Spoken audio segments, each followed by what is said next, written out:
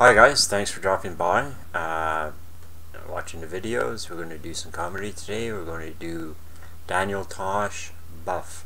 Daniel Tosh, is a pretty funny guy. I've done a few of his now, and uh, it cracks me up every time. So I don't see any reason for him not to do it this time. Uh, so let's watch, and uh, be, be sure to subscribe and like the video if you like it. If you don't like it, well, you don't have to do anything. You can still subscribe, but you know, don't put uh, dislike. Well, if you feel strongly about it, you know, you dislike it if you really have to. But still su subscribe. Alright, so we're going to start here now. Uh, we're going to pull up the thing there and start it. Would you like me to fix all the environmental problems on the planet? I can do it. The solution's simple. You won't help. That's the real problem. Stop having kids. You hear that? That's not enough support. That's why we have to contaminate the water. because most of you are not on board yet.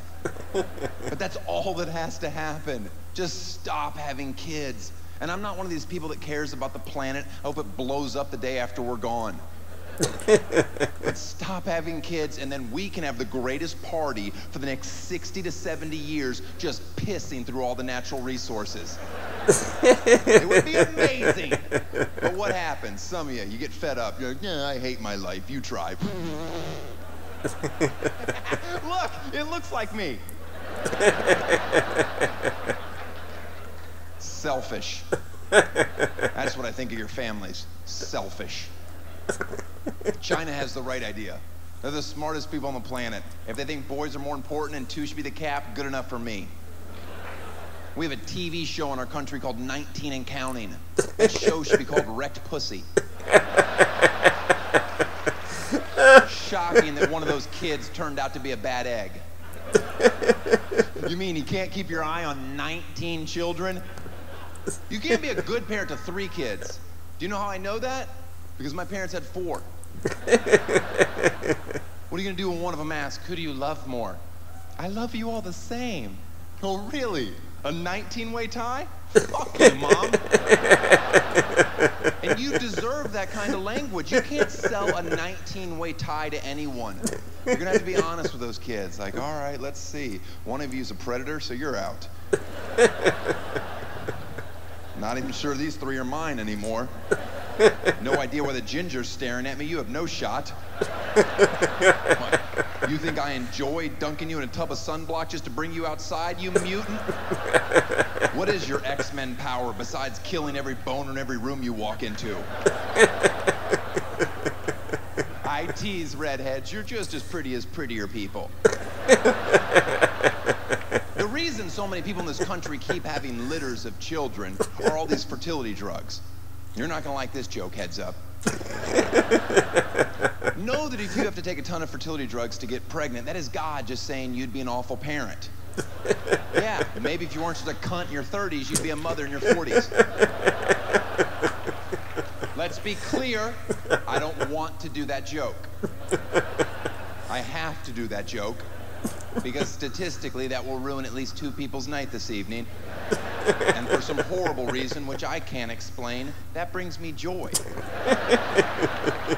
to know that there's a lady here right now just going, fuck him.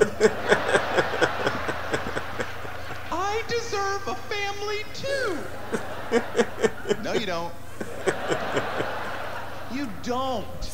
It's called the American dream for a reason. It's unrealistic. It's not going to happen for everyone. You want a kid so bad, adopt one, you selfish wench. We're only halfway through this joke. Hang in there. you ever seen an orphanage? I ask this from time to time because I know the answer. Most people haven't.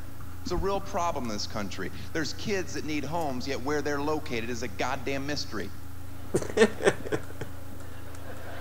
you think that'd be a crucial part of the orphanage's business plan?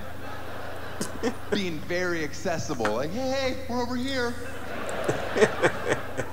Nobody's ever given me directions to their place. Been like, you go to the orphanage, you take a right, my house is right there. You can't miss it. Maybe this is a better way. You ever go to a grocery store on a Saturday and out front they have a pin set up for rescue dogs?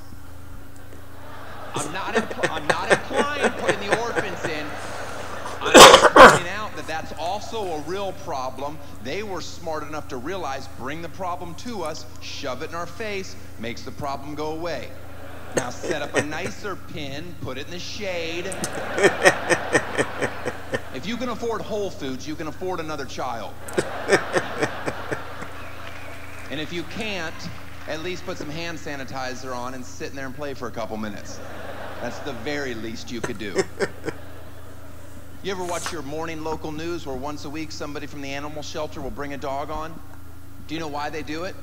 Huh? Because it works.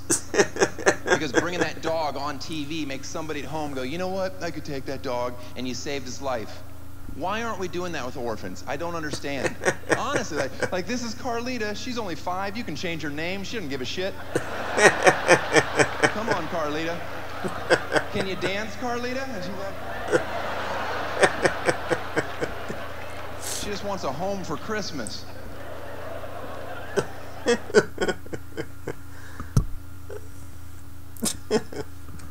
All right. All right, that was uh, Daniel Tosh and Buff. It was pretty funny. He's got a uh, strange outtake on things sometimes. So I uh, hope you enjoyed it. Be sure to subscribe. Thanks for watching. And uh, we'll see you on the next one. Have a nice day.